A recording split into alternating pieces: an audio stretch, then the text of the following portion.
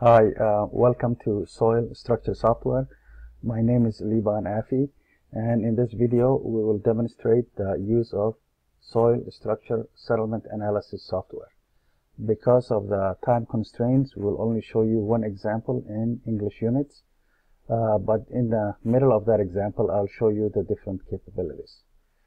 So I've uh, opened the, the program already up and we have a choice of either English units or SI this example will be English units.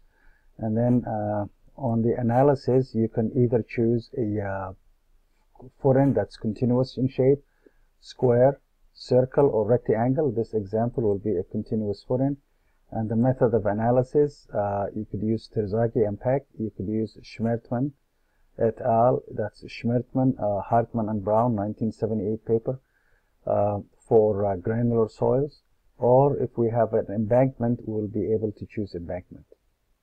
So we choose Terzaghi and Peck now in this one we have here is the um, footing it's showing you it's two and a half foot wide. And for analysis purposes we take the length of continuous footing as 10 times the width. So L over B would be equal to 10 so footing width is two and a half. The footing thickness is uh, 3 feet. So if we zoom in we will see that the footing is extended 1 foot uh, above the soil and it's embedded uh, 2 feet in the ground. Okay. Embedment depth is 2 feet. Axial load uh, I remember this project was for a five story a condominium building. So it is uh, approximately three and a half kip per foot. The groundwater table was very deep and if it's deep the program you can make it equal to the bottom depth of analysis. And the bottom depth is 20 feet. So the groundwater is set to 20 feet. Uh, rigidity factor if it's perfectly rigid it's 0.85 if it's perfectly uh, flexible it's 1 so we left it at 0.85 maximum depth of analysis we'll start with 20 feet. And then we will see if the stress uh, diminishes to 10% of what's applied. And if it does, then 20 feet is enough. If it doesn't, we will keep increasing the analysis depth. And in this uh, box, if you don't check it, you don't do a time rate calculation, but in this case, we will check it and do a time rate.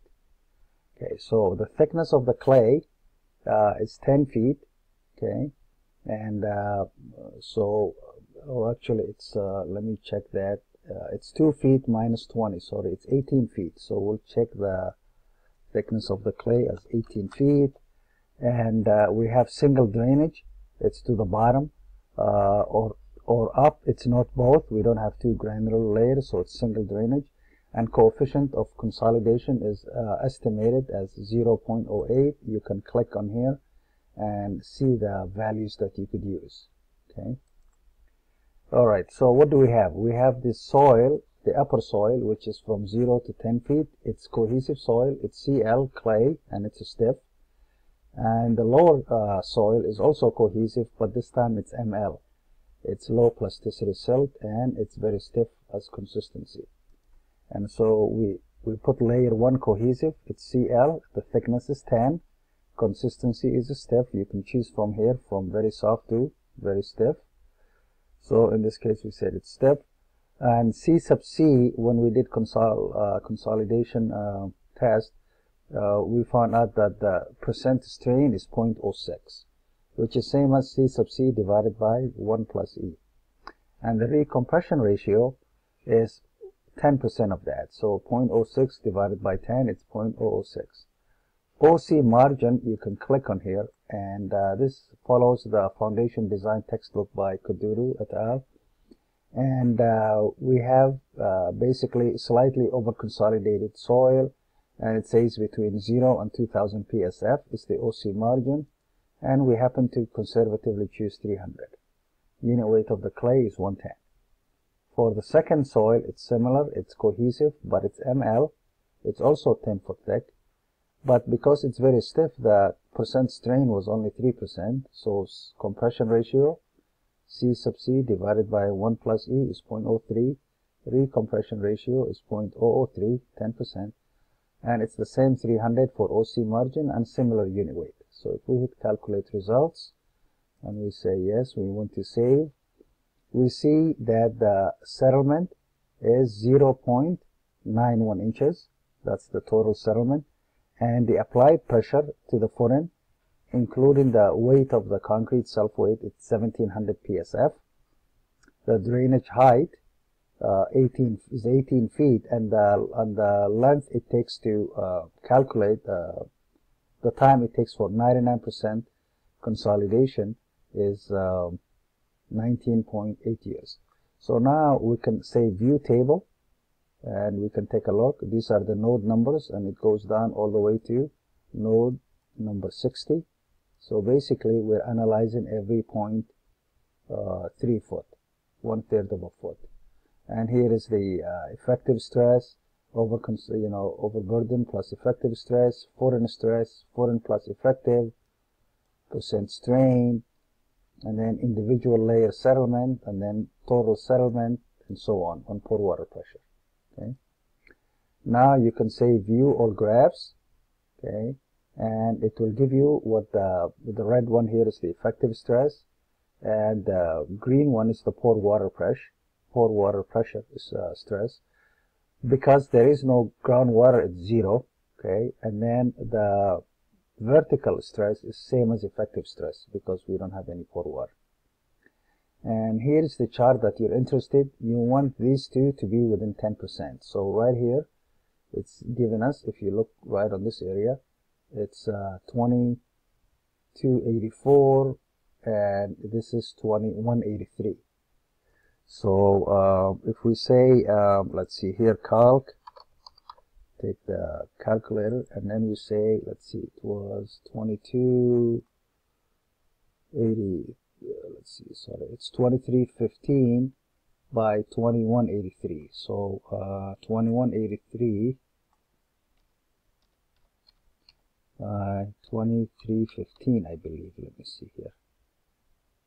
Uh, 2315 is 94.3%. So we are with uh, we're more than 90% of the stress. So we're okay as far as so this is this should be 90 within 90% of each other, but now it's within 94% of each other. So the stress has diminished. So we're fine. And the total stress, sorry, the total settlement is here 0.91 inches. Then now when we come to time, time rate, we can look at the table, okay, and it will give us the, uh, you can expand, okay, and it will give you the, the total settlement at 0 years, 0.03 years, all the way until the 19 year period that we found out.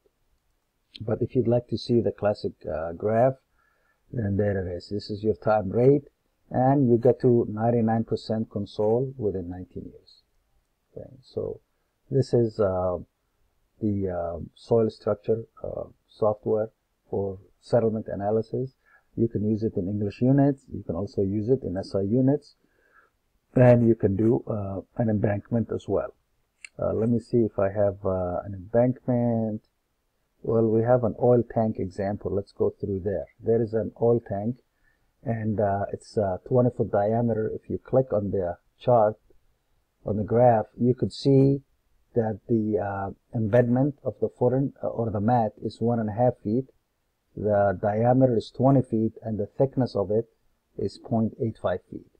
And we're really concerned about the settlement of the cohesive layer. So you have 5 feet of granular layer and then you have 5 feet of CH, even though it's firm, it's still cohesive. And then we have granular layer below that.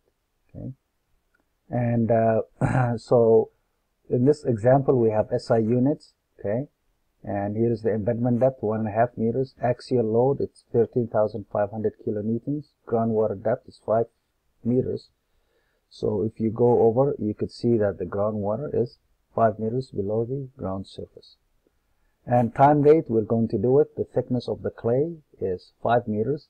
But because we have sand above and we have sand below, we call it a double drainage layer. It's not single, but it's double.